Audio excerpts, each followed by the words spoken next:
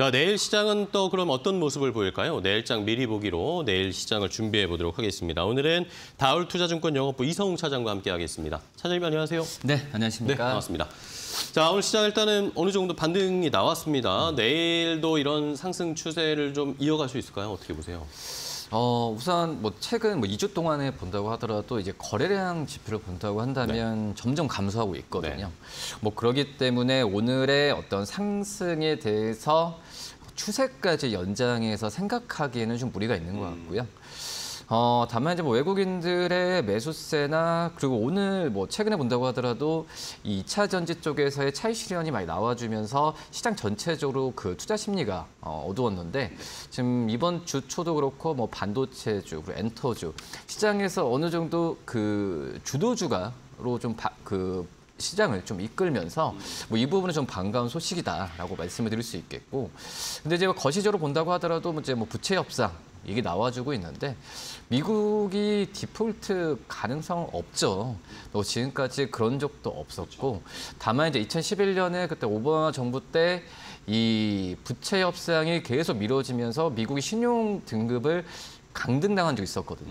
그러면서 그 우리 미국 증시도 폭락했지만 그때 우리나라 증시 같은 경우도 20% 이상 폭락했던 걸 보- 봤을 때 디폴트는 디폴트는 나올 가능성은 없지만은 그런 분위기로 가는 것 자체는 어, 어떤 시장은 전체적으로 억누를 수 있다라는 부분을 좀 생각해야 되지 않을까라고 좀 생각이 되고 있고요.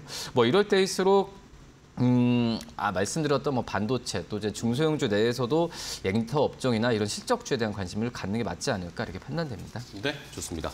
자, 말씀해 주신 것처럼 미국에서 부채 한도와 관련된 이야기 뭐 계속 나오지만 사실 이거 역사적으로 되돌아봤을 때 이- 그때마다 늘 이렇게 노이즈로 나왔던 것이었죠. 이게 또 어, 디폴트 될 일은 가능성은 그렇게 없다라는 전문가들의 의견 많으니까 일단은 대비를 좀 해 주셔야 되겠고요.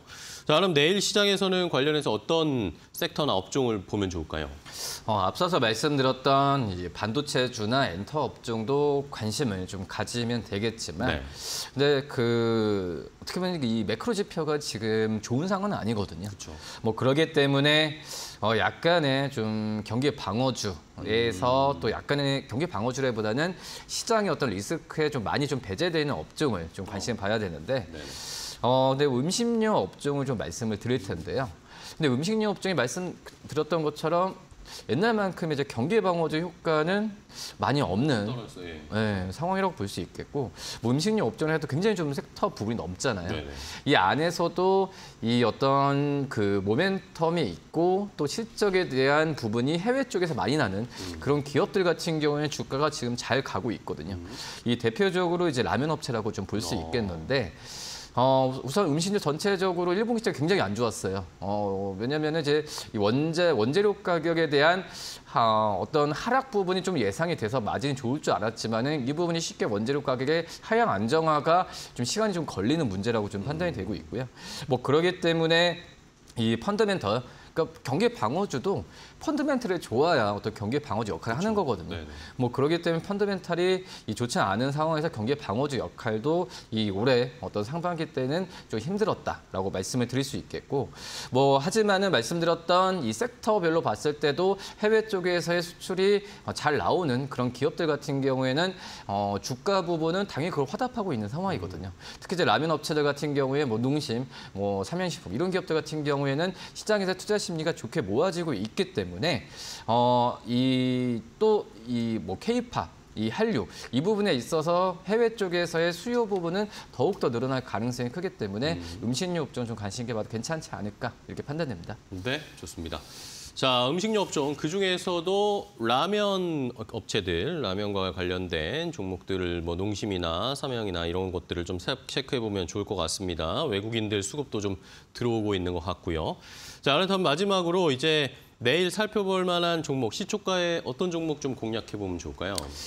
어, JYP 엔터를 좀 JYP 드릴? 텐데 앞서도 이제 엔터 업종 저는 엔터 업종을 어, 엔터 사사 뭐 다른 어떤 제조업체 대비해서 사사를 오히려 더 한꺼번에 사는 것도 나쁘지 않다는 어, 네. 전략인 것 같고요. 왜냐하면은 실제 주가 많이 가지만 이 부분은 제가 그전에 몇 번 말씀을 드렸을 것 같아요. 신고가를 아무리 기록하더라도 이게 실적이 잘 나오는 게 확인돼서 어, 가게 된다고 한다면은 저는 오히려 신고가라는 부분이 매수 신호라고 생각이 되고 있거든요.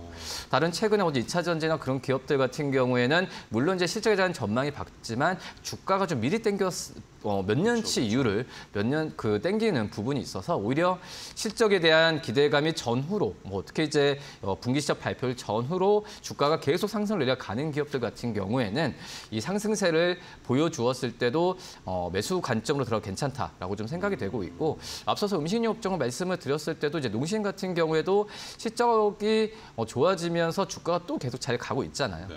뭐 이런 기업들 같은 경우에는 어, 어떤 value가 높다는 것보다 value는 자연스럽게 또 상향이 되거든요.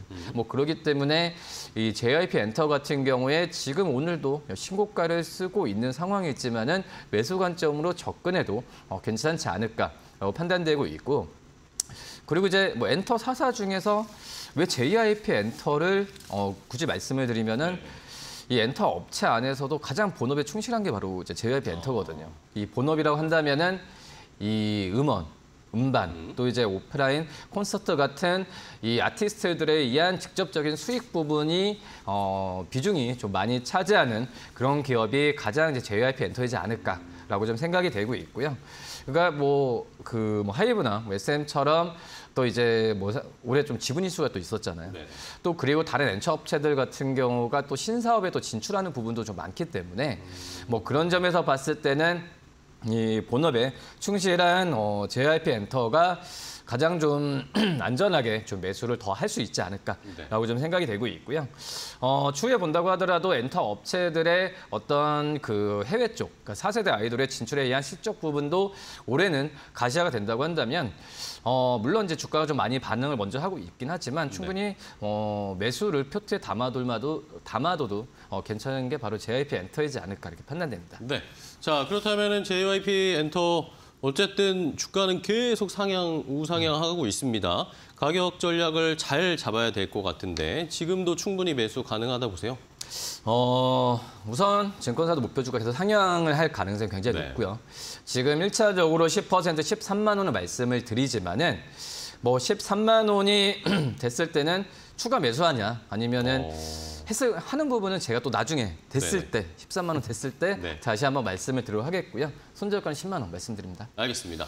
자, JYP 엔터 이렇게 설명을 해 주셨습니다. 실적 발표하고 나서 주가가 한 번 더 level up 됐는데 여전히 뭐 좋은 업황 그리고 본업에 충실하기 때문에 튼실하다라는 의견을 주시면서 오히려 지금 매수해서 조금 더 가져가 보자 신고가 행진을 즐겨보자라는 의견 주셨으니까요. 저희도 한번 잘 생각을 하고 반영해 보겠습니다. 자 오늘 함께 이성웅 차장과 이야기를 나눠봤습니다. 오늘도 좋은 전략과 종목 소개해 주셔서 감사하고요. 다음 시간에 또 차장님 뵙겠습니다. 고생하셨어요. 네, 감사합니다.